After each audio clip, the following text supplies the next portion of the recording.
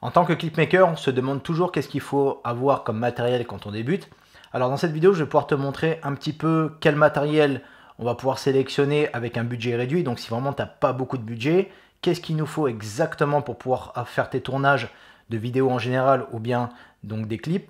En gros, tu vas voir qu'avec ce matériel-là, tu vas pouvoir faire pas mal de choses. Alors ce qu'il faut savoir, en gros, c'est que hum, les, vidéastes en général, au début, quand ils commencent, ils font cette erreur-là de faire trop de consommation euh, sur, le matériel. En fait, euh, en général, quand tu débutes, tu commences à kiffer. Et donc, bah, tu es là, tu veux acheter euh, plein de choses, tu veux, tu veux tout acheter. Et donc, du coup, ça, c'est vraiment une erreur. Et tu vas voir que en fait, la différence qu'il y a entre ce que toi tu sais que tu peux faire avec ton matériel et ce que les artistes ou bien les clients vont voir, c'est il y a, deux mondes différents. Donc vraiment, toi tu vas dire voilà, moi il me faut la dernière caméra, il me faut les dernières choses qui sont chères. Mais ce qu'il y a, c'est que l'artiste en face ou bien, tes clients autres, euh, eux, ils ne voient pas tout ça. Donc il y a vraiment une différence, il faut vraiment faire la différence entre toi et les personnes qui sont en face. Là, j'ai fait une sélection de matériel, donc ça va être pas mal de tournage de jour. Après, quand tu auras un tout petit peu plus de budget, il faudra acheter de la lumière. Alors, en gros, là, j'ai fait une sélection. Donc, tu vas avoir euh, pour moi un GH5 ou un GH4. On va, regarder d'occasion directement. Donc, euh, tu vas pouvoir voir euh, bah, voilà, que qu'il y a vraiment pas mal de choses. objectif Olympus, donc 17 mm, j'avais fait une vidéo directement bah voilà, où je te montre que cet objectif-là et tu vas voir que avec cet objectif, bah, tu vas pouvoir faire pas mal de choses. Euh, donc un stabilisateur, ça, ça va être important. Deux batteries, donc si tu achètes normalement euh, un pack ici euh, d'un Panasonic GH5, GH4, deux batteries qui sont données avec, ou bien bah, une seule. Donc ça veut dire que du coup, tu vas devoir acheter deux batteries, comme ça, ça t'en fera trois voire quatre. Donc une carte SD 128 Go, donc là tu vas pouvoir faire pas mal de tournages, même si tu fais des tournages de mariage, ça sera largement suffisant si tu filmes en 1080p. Euh, ensuite, on va avoir donc une enceinte. Donc ça, c'est important quand tu fais tes clips. Un sac à dos, forcément, parce que tu vas pas te trimballer tous les trucs dans les mains comme ça. Euh, un drone, donc ça, c'est vraiment quelque chose qui est important aujourd'hui quand même d'avoir un drone. Et on va essayer de trouver un pack complet. Donc du coup, avec, euh, donc avec le sac et avec les deux batteries directement, ou trois. Donc ça va être important parce qu'une batterie, c'est quand même, bah, voilà, tu vas être vachement limité quand tu fais du drone. Donc ça, c'est vraiment quelque chose à avoir en tournage. C'est, c'est comme une caméra. Maintenant, quand tu as un drone, c'est pas quelque chose en plus, c'est vraiment quelque chose qui doit être inclus quand tu fais un tournage. Quoi. Donc c'est vraiment très important. Ensuite, on va avoir donc un ordinateur MacBook Pro. Donc euh, bah, moi, c'est ce que j'utilise, donc ça va être, ça va être important d'avoir un, MacBook portable. Alors on va regarder, ça va pas être les dernières versions évidemment, parce que sinon ça va être euh, super cher. On va prendre les versions euh, d'il y a, on va dire, 5 ou 6 ans en arrière. Et donc après avec ça, un disque dur 5 Tera, donc ça va être très important. Et donc on va aller directement sur le bon coin. Donc tu vois, tac, voilà. Donc du coup, ici, on va mettre donc toute la France. C'est important. Donc toute la France, voilà. Comme ça, tu vas pouvoir euh, avoir directement avec la livraison. Et là, tu vas voir que tu as vraiment pas mal de choses. Euh, alors, moi, je te conseillerais, voilà, par exemple, de prendre ça, donc juste le boîtier, puisqu'on va acheter l'objectif à part. Donc tu vois, tu vas en avoir euh, à peu près pour 400 euros. Alors après, en plus, en négociant. Alors franchement, je peux te dire que tu peux y aller les yeux fermés sur le bon coin avec, des boîtiers déjà d'une parce que c'est pas très cher. Euh, et, franchement, euh, en général, si tu regardes bien, euh, les personnes qui ont fait de la vidéo ou de la photo, franchement, ils font attention à leur boîtier. Donc voilà. Donc tu vois, ce boîtier est vendu sans objectif. Donc ça, c'est très bien puisqu'on va prendre un 17 mm. Donc là, c'est quelque chose que tu peux forcément négocier. Donc on va regarder. ça a l'air d'être plutôt pas mal. C'est propre. Il y a un grip en plus en dessous, donc ça peut être bien. Donc voilà. Donc là, je te prends vraiment le premier prix, mais après, c'est à toi vraiment de faire une bonne sélection. Tu vois, il y en a quand même pas mal. Donc, euh, donc voilà, je te conseillerais vraiment de prendre juste le boîtier nu et puis comme ça, ça limitera tes frais. Donc on va dire entre 350 et 400 euros. Donc on va dire entre 350 et 400 euros. Ok, donc ça c'est pour le GH4. Ok, si maintenant vraiment tu te dis, bon allez, j'ai un petit peu plus de budget, je me prends un GH5. Je pense que tu en as à peu près pour 800 euros, à mon avis, le GH5. Voilà. Et donc là, euh, Pareil, boîtier nu, ouais, on va dire, alors là, il y a 850, 900, 750, voilà. Donc, on va dire, à peu près, si tu négocies, donc on va dire entre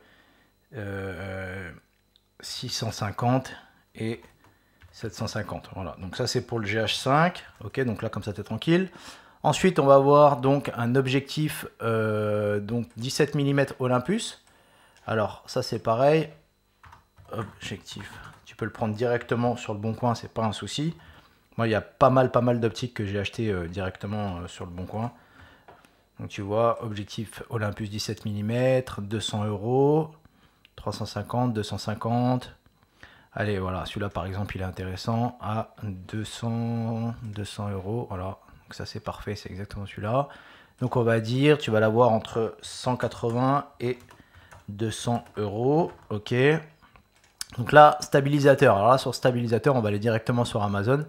Ça sera quand même mieux. Alors, Là, tu vas, taper stabilisateur caméra. Et donc là, si tu regardes bien, il y en a plusieurs, forcément avec le Ronin S et tout ça. Mais là, on va essayer vraiment de trouver quelque chose le moins cher. Et donc là, à 237 euros, celui-là, il est vraiment pas mal du tout. Donc le Feiyu Tech, ça c'est vraiment, vraiment top. D'ailleurs, tu as pas mal de place ici pour pouvoir euh, filmer avec le viseur. Donc, tu vois, donc ça c'est vraiment bien. Donc voilà, donc on va dire 237 euros. Il n'y a pas de frais de livraison. Ok, en tout cas moi avec le Prime, je l'ai pas. Donc on va dire 240 euros, stabilisateur. Voilà, euh, deux batteries. Donc ça c'est euh, très important d'avoir euh, deux batteries. Comme je te disais, puisque tu vas pouvoir bah voilà, tourner avec trois batteries, si tu en donnes une avec. Donc là, bah, pareil, il y a tous les prix, on va dire... allez, on va dire, ça c'est pareil, moi j'en ai, j'en ai, du coup j'en ai quatre et il y en a pas mal que j'ai acheté sur Amazon. Donc on va dire, allez, 40 euros grand max avec un deuxième chargeur si tu veux prendre un chargeur pour aller plus vite. Donc on va dire les 35 euros, ok. Ça c'est pour les batteries. Carte SD c'est pareil, donc ça va être euh, assez important. Euh, tac. Donc là on va mettre carte SD, carte SD. Alors attention, il ne faut pas acheter n'importe quelle carte SD. Je vais te montrer laquelle. Carte SD 128, il faut prendre une SanDisk. Euh, alors tu as celle-là qui est pas mal, mais si on cherche un petit peu moins, un petit peu moins cher. Euh, tac. Voilà, celle-là. Donc 128, 150 euh, mégabits, donc elle est à 27 euros. Et là, c'est le même prix. Bah voilà, on va dire, euh, on va dire 27 euros. Donc voilà, soit celle-là, la Extreme Pro, ça sera suffisant avec le GH5 et le GH4. Soit celle-là, voilà. Donc 27 euros. Ok. Et avec ça, comme je te disais, tu peux largement faire des clips et même des vidéos de mariage, même si tu veux. Pour l'enceinte, tu vas pouvoir regarder directement. Moi, je l'ai mis euh, directement sur la boutique. En gros, on va en avoir pour, on va dire, entre 75 et 85 euros. On va dire, ça c'est important puisque quand tu vas voir un artiste, il vaut mieux que tu aies toi le son. D'ailleurs, je te conseillerais de mettre une carte mini SD dedans. Comme ça, au moins, quand tu appuies sur Play, tu as le son direct. Donc, on va dire 80, 80 euros, ok, pour une enceinte. Voilà. Euh, ensuite, un sac à dos très important. Alors là, pour le sac à dos, euh, tu vas avoir euh, pas mal de choix. Hein. Ça, je te laisse toi directement choisir, puisque c'est un peu, dire sac à dos photographe, ok. C'est vraiment un petit peu, voilà, toi et tes goûts, qu'est-ce que tu veux comme rangement et autres. voilà, on va dire celui-là par exemple, à 50 euros, il est très bien. Donc là, on va pouvoir mettre 50 euros. Donc tu vois, c'est pas, c'est pas, jusqu'à présent, on n'est pas, on n'a pas beaucoup de, on n'a pas fait beaucoup de dépenses en vérité. Pourquoi je te, fais vraiment ça pour décortiquer? Parce que la vérité, c'est que quand tu vas commencer à faire des tournages, déjà au début, euh, tu vas pas avoir euh, bah, énormément de budget. Donc si tu commences à trop dépenser plus que les budgets, ça veut dire que déjà tu vas avoir du mal à, être rentable.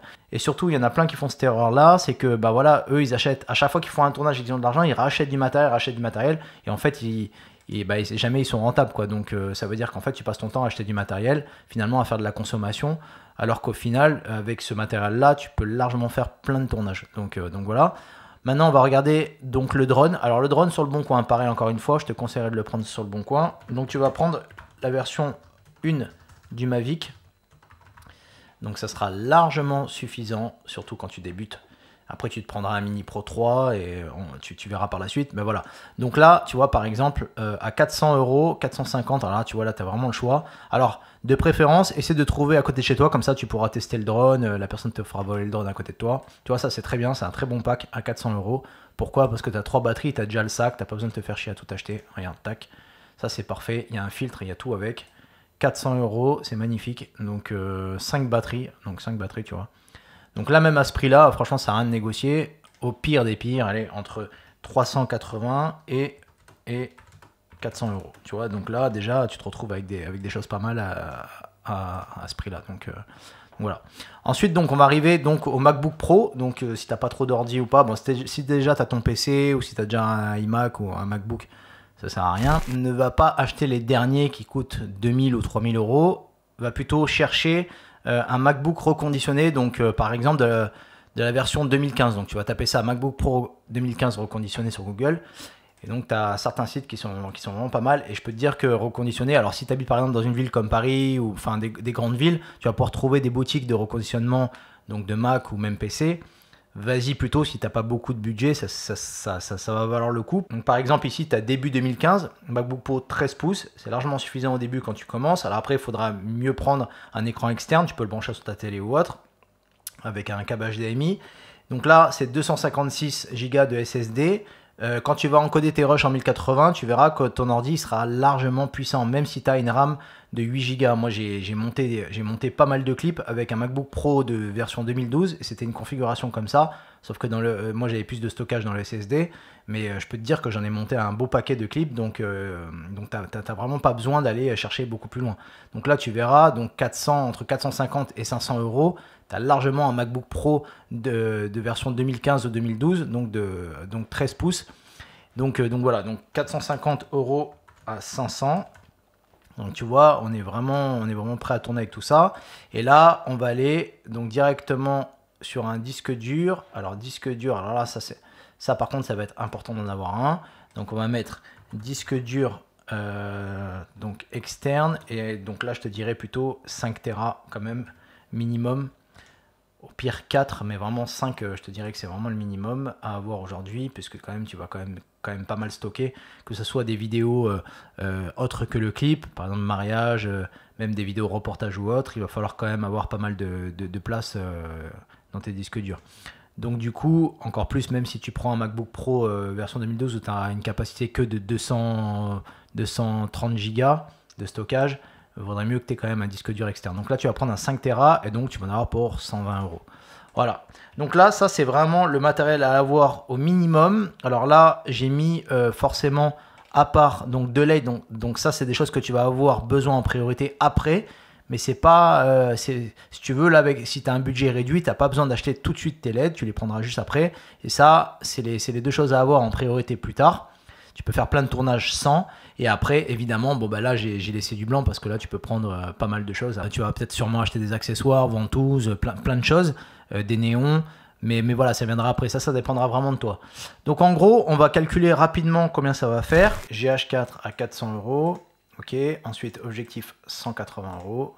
OK. Ensuite, on a 240 euros le stabilisateur.